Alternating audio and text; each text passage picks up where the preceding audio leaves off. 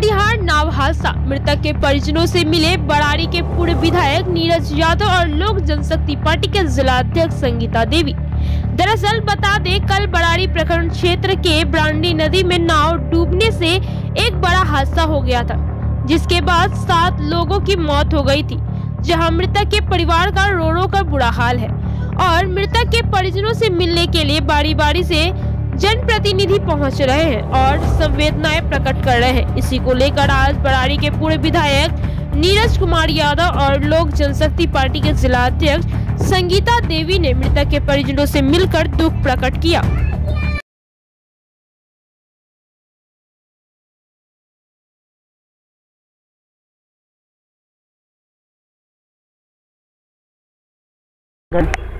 यहाँ देखिए हम बरारी विधानसभा में आए हैं। यहाँ ग्रामीणों सबसे मिले हैं। सबसे मिलने के बाद यही पता चला है कि बैलेंस करवाने के कारण ही जो है ये हादसा हुआ है। और नौ पर जो है दस व्यक्ति सवार थे जिसमें सात की मृत्यु हो चुकी है।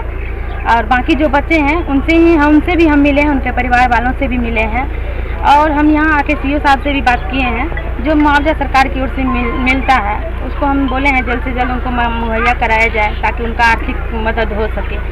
हमने भी आश्वासन दिया है ग्रामीणों से, जहाँ कोई दिक्कत होती है, हमें कॉन्टेक्ट करें, हमसे बात करें।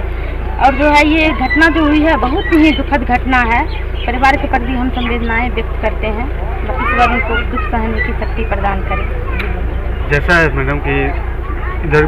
इसके लिए जो है नदी में ग्रामीणों का कहना है कि नदी में एक पुल होना चाहिए जिसके लिए जो हम सरकार से मांग करते हैं कि एक पुल होना चाहिए जिसके कारण जो है आवागमन में जो है थोड़ी मदद मिले और खेती बाड़ी का यहाँ जो है होता है तो उससे थोड़ा मदद मिले उनको। जिलाधिकारी से मिला जाएगा संगीता देवी लोक जनशक्ति पार्टी रामविलास जिला अध्यक्ष सहपुर प्रत्याशी पैंसठ बलरामपुर।